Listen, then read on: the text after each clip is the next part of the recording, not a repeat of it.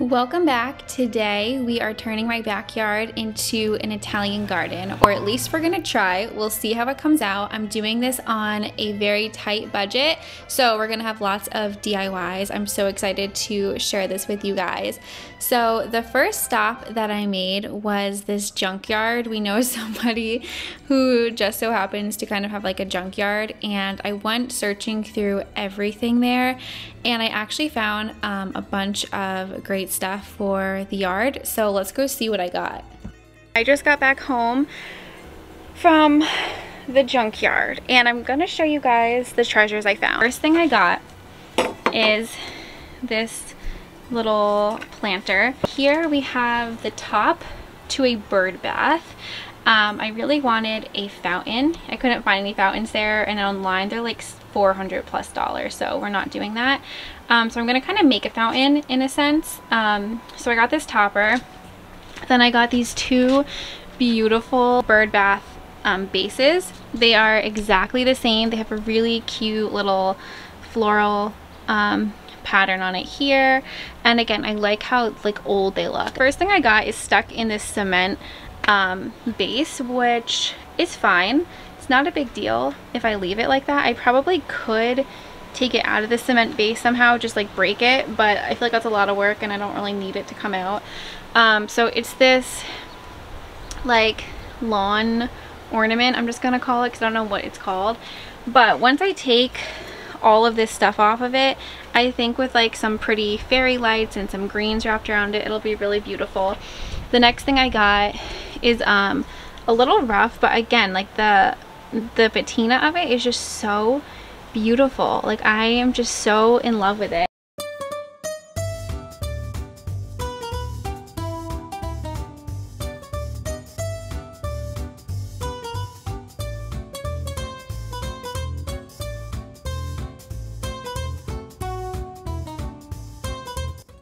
So here's our backyard. This is what we're working with. We're just doing like the patio area over, um, not anything else in our yard.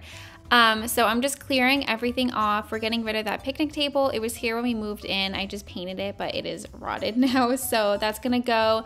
Um, the furniture that we have, I got at the end of last summer. So that's pretty new, so we're gonna keep that. But obviously the patio looks really rough so I'm just taking our power washer and washing it off which is like the most satisfying thing ever because you can see all of the dirt and grime go off and then your patio just looks so beautiful once it's done.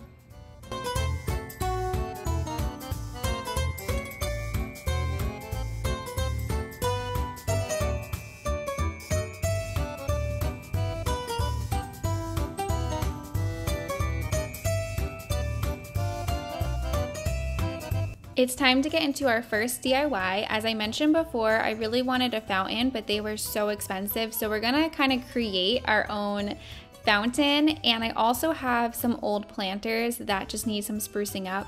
So I got this spray paint, which is in the shade Pebble. And then I also got this stone coarse texture um, spray paint in the color charcoal sand. It is the coolest thing ever. It just leaves like a grainy effect.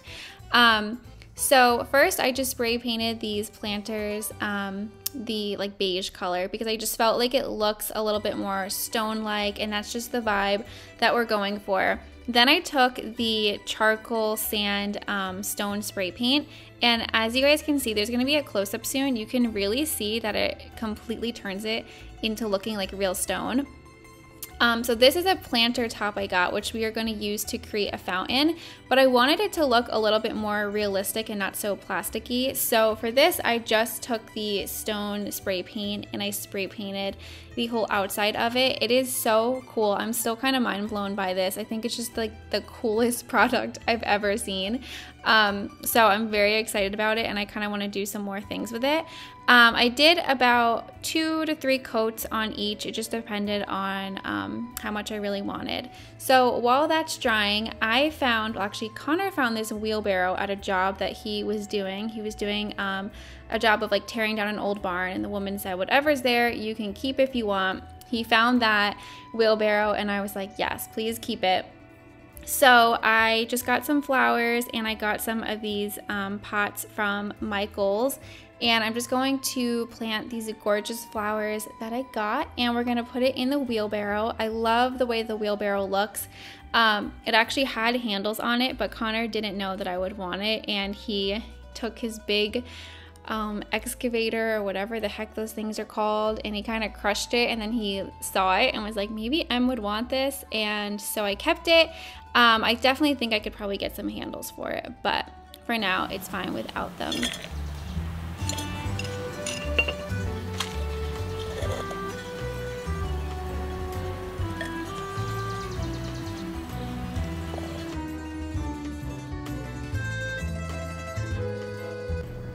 So I'm just going to arrange these flowers in the wheelbarrow and I think it is such a gorgeous, simple look. I love how it looks. And I think doing a backyard that's kind of like an Italian theme, you can have things look a little bit more natural and everything doesn't need to be so clean and crisp like I feel like the rest of our house is. So it's kind of refreshing to not have to worry about everything being perfect.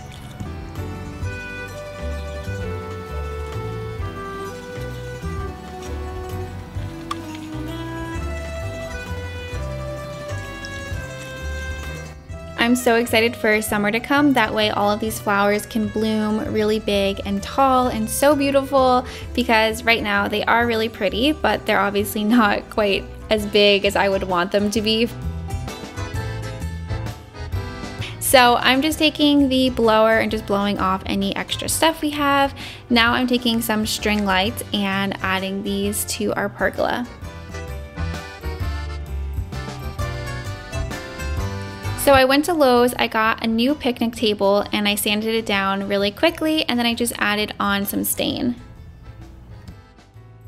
Now it's time to do a DIY fountain. So this is just like an easy way and an expensive way that I could think to make one. So I, like I said before, I got this planter, um, then you guys saw me put the stone spray paint on it. So I have these two bases. I decided to go with this one because I thought the coloring was a little bit more similar to this planter.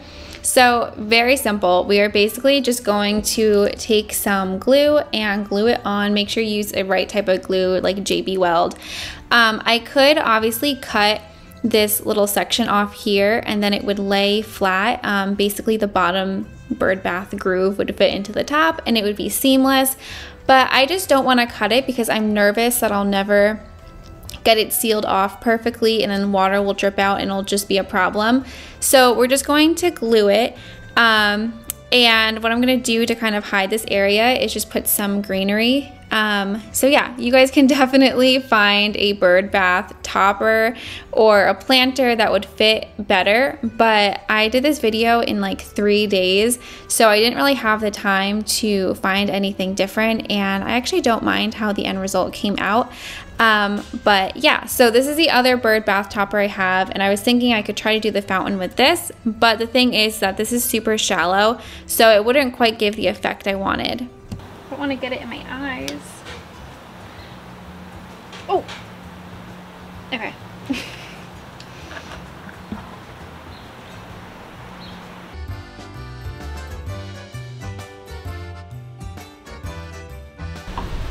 So here's the base.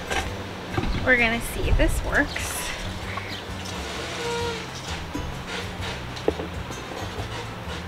It says it dries in five minutes, so guess we'll see in five minutes.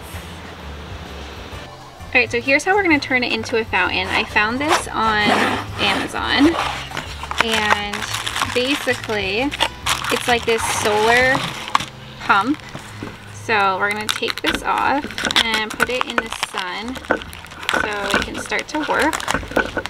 And it's like a solar... what the heck? Oh my gosh. That just scared me so badly.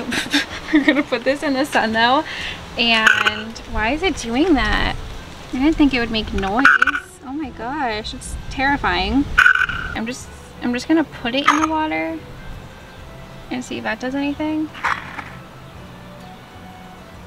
But I mean, like, if it's gonna make this loud noise the whole time, that's obviously not what we want. That's not peace. Oh!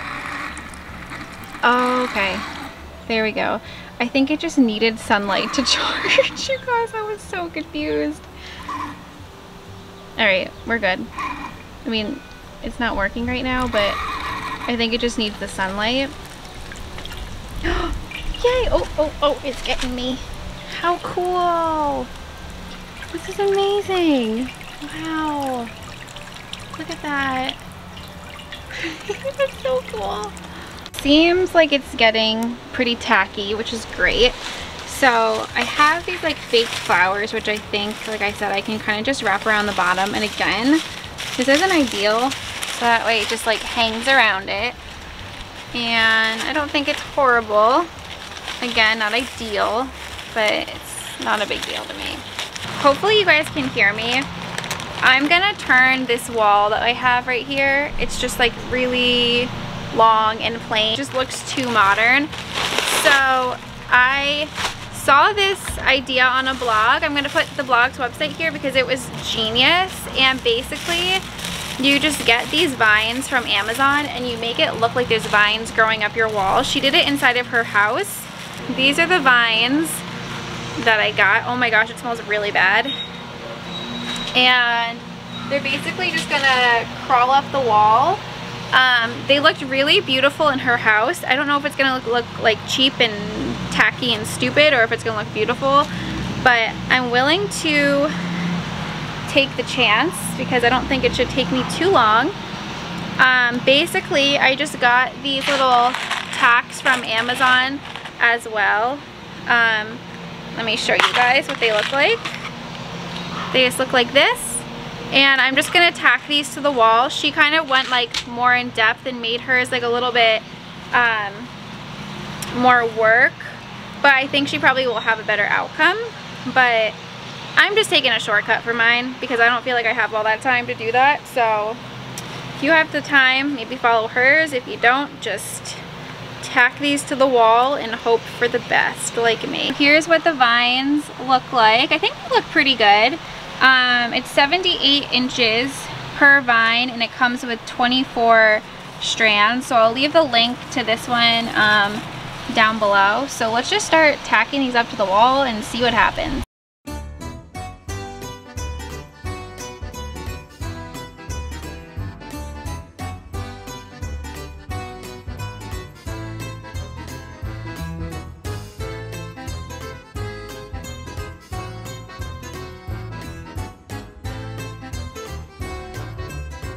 The wall is complete. I really like how it turned out. The next thing I'm gonna work on right now is a projector screen and I'm really excited about this. I thought it would be really fun in our backyard to put um, a projector up. That way um, we could sit by like the fire pit, put a movie on, and I just thought it'd be really cozy and fun.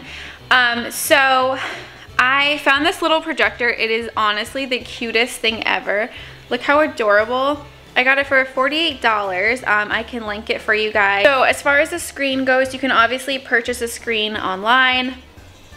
Um, or you could make one. So I'm making one. I have a bunch of these old blackout curtain panels um, that we don't use. And I just got this wooden dowel from Lowe's for like two bucks. Um, so what I'm gonna do is I'm watching Sweet Home Alabama as I do this.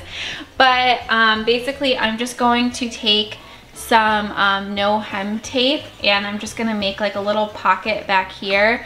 Um, that way we can string the um, rod through and then I just wanted to add this in here. If you get a curtain that's a little bit more square or it's going long ways, then you won't have to add this pocket at the top for the dowel to go through. You can just obviously use it how you would normally a curtain. But where our pocket is for the curtain rod, it's going down the side. You guys can see it right here to the left. So it wouldn't work because then the video screen would be too long um, going up and down rather than side to side, if that makes any sense. Hopefully it does. And I'm gonna put two hooks outside and the rod will be able to sit in them. That way we don't have to keep the screen up all the time and whenever we do wanna put the screen up, it's just really easy to get in there.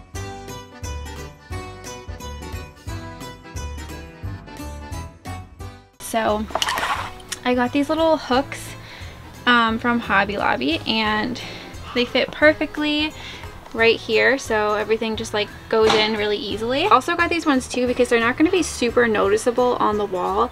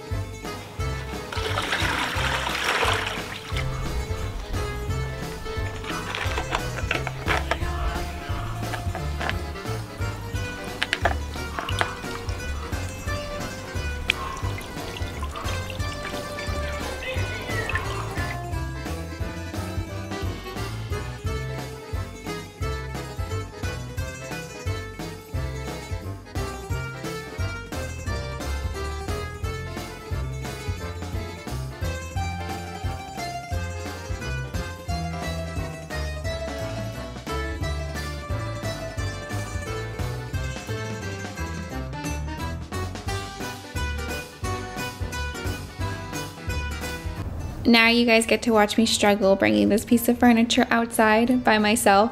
But um, so I got this piece of furniture on Facebook Marketplace not too long ago.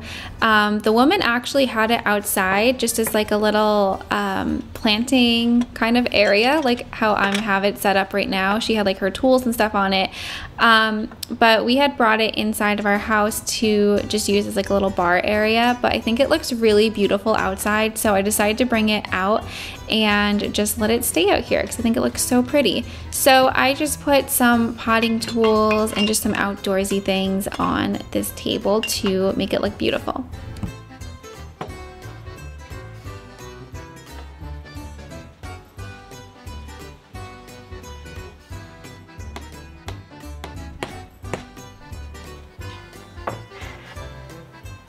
Now it's time for my favorite part of the video, the reveal. So here is what the after looks like.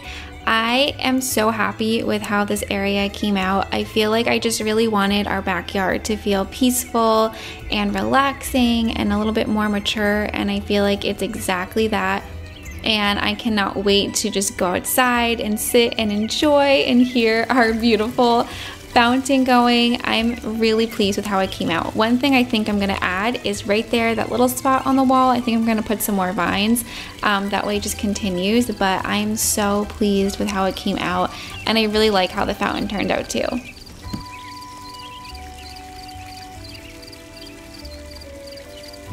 Our furniture set we got on Amazon last summer, so if it's still available, I can try to link it for you guys. I love how this flower area came out. I think it is so beautiful.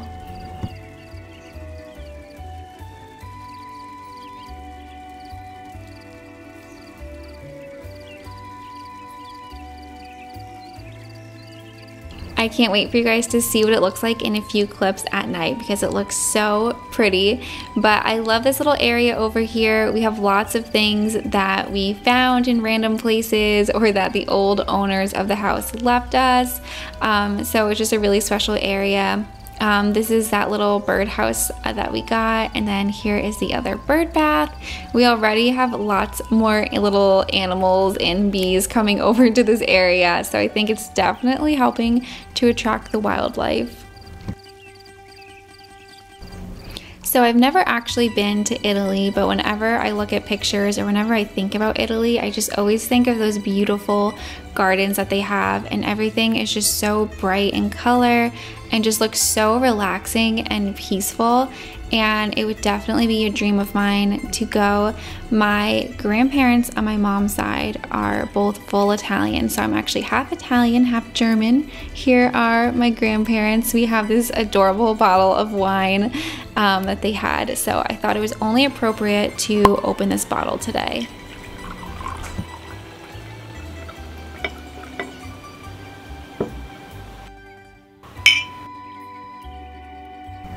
Encourage you guys to create a space that makes you feel really good and inspires you. Having a space that you can go to where you just feel inspired and instantly you feel uplifted and happy is so important and it really does help to boost your mood. So now it's nighttime and I'm lighting all of the candles and turning all of the lights on outside. It honestly feels so magical in our backyard and it is so peaceful. I'm just so happy with how it came out and we did it on such a good budget. I think in total, I probably only spent like maybe a couple hundred dollars, so I'm really pleased with that.